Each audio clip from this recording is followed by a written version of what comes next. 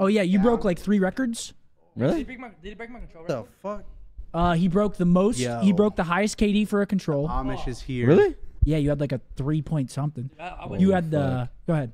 Dude, he broke, he broke mine. Wait, that was your record? I was 27 and 7. Yeah, at, at, least, at least me and you were right next to each other. That's fucking You know adorable. You also broke, I think, the kill streak record Yeah, for 13. 13. the highest kill streak Yeah, in the game. Draws Yeah. had Ooh, draws oh, had 12. oh, Yep.